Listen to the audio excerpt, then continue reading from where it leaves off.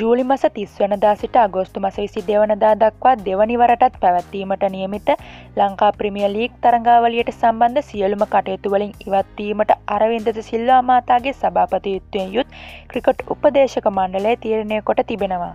ඒ මෙම තරංගාවලියේ කටයුතු සොයා බැලීම සඳහා අමාත්‍යංශ මට්ටමේ මණ්ඩලයක් පත් කිරීමට ක්‍රීඩා ඇමති නාමල් රාජපක්ෂ මහතා බලාපොරොත්තුව සිටි අතර ඒ සම්බන්ධයෙන් විවිධ අදහස් දැක්වුණා. කෙසේ නමුත් එල්පල් තරඟාවලිය වෙනමම කමිටුවම් මගින් ක්‍රියාත්මක කිරීම වඩා සුදුසු බවට ක්‍රිකට් උපදේශක මණ්ඩලේ ක්‍රීඩෑමතිවරයට අවධාරණය කර තිබෙනවා. මේ අතර පසුගිය වසරේ තරඟාවලිය ඉතා සාර්ථකව සංවිධානය කළ අවසන් කළ නමුත් ඒ වෙනුවෙන් ශ්‍රී ලංකා ක්‍රිකට් ආයතනයට අයවිය යුතුව තිබූ මුදලින් තවත් සෑහෙන කොටසත් තවමත් ශ්‍රී ලංකා ක්‍රිකට් ආයතනයට ගෙවන්න නැති බවද වාර්තා වෙනවා.